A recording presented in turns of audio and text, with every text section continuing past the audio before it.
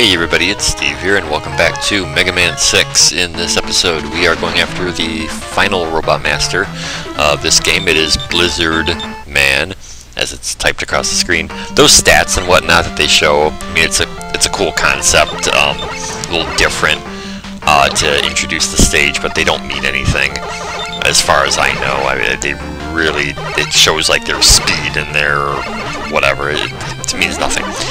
Uh, so anyway, after dealing with um, Yamatos and Centaurs and all that, it's it's good to just be back in a predictable level. I mean, it's Blizzard Man. You already know before you even start the stage, it's going to be snowy, it's going to be icy, it's going to be slippery, and uh, it's going to be familiar. Um, yeah, these little skating guys are kind of they're cool, but they can get annoying if they happen to fall on you at the at the wrong time. Man, the, oh, these things are just everywhere. Uh, there's probably an energy tank up here. Yeah, got your Flame Man weapon.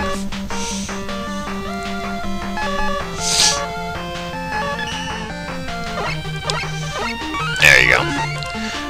Um, so yeah, uh, th this is a level that doesn't really require any uh, any explanation, really.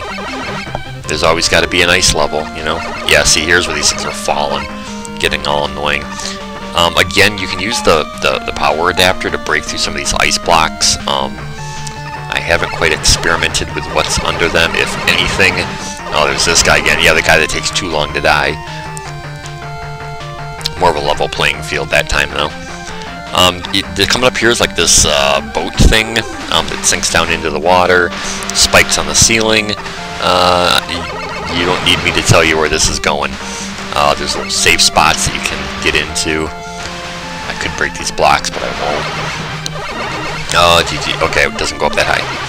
Mega Man's um, bullets that come out of his arm cannon are kind of funny on this thing, is that they, they don't shoot in a straight line, depending on whether this little boat's going up or down. Uh, something's down there. Just energy, really? Oh, energy tank. Well, I'm gonna pass it up. uh, just duck into these little safe spots here. Yeah, um, I know, I, I, guess the one thing about a predictable level such as this is that it doesn't leave much to, uh, to talk about, really. It's, um, it kind of speaks for itself. Uh, these bombs, obviously, as soon as you come in contact with them, they begin their countdown to detonation. You again? Why you again? Jeez. I, how, why am I about to die? How did that become a thing? Man, I don't pay attention to my energy bar at all. Um, I'm surprised that didn't just blow up on me.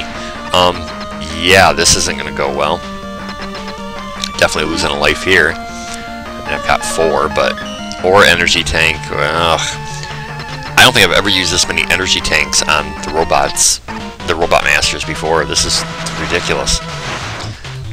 Uh, Blizzard Man comes out, he's on skis. I mean, he's kind of comical looking. Um, you almost want to laugh at him rather than fight him. Um, he does the ski attack. He, he He's also got a snow attack. Right there, you saw a little bit of it. What did I just say there? A little bit of it. Anyway. Uh, Flame Man's weapon is your weapon of choice. It's the weapon that I foolishly tried to use on Plant Man. Um, obviously works on Blizzard Man. Fire on snow. Well, come on now. Yeah, mm, it's kind of hard to dodge that. I mean, it's a way if you do it just right. Jump over him as he's coming towards you. And then uh, let him bounce back over you. Come on now. Really? Yeah, there's. Oh, jeez. Are you serious? Probably sounded really weird when I breathed into the microphone just now. I know, I, I catch that sometimes. Anyway, oh my god, I keep saying what horrible commentary, but this is uh, probably the worst. Uh, that's it. All eight Robot Masters have been defeated. Um, we get Blizzard Man's weapon, which is the Blizzard Attack. Wow, I, I don't know how I remembered that. Anyway, uh, we get the Blizzard Attack. Pretty useful. You can see it there in action. That's kind of cool in this game too, how it shows you Mega Man using the weapon. Um, next time we are going to go after um, Mr. X and put an end to his villainous nonsense. Uh, everyone take it easy. Have a good day. Peace. I'll see you next time for more of Mega Man 6.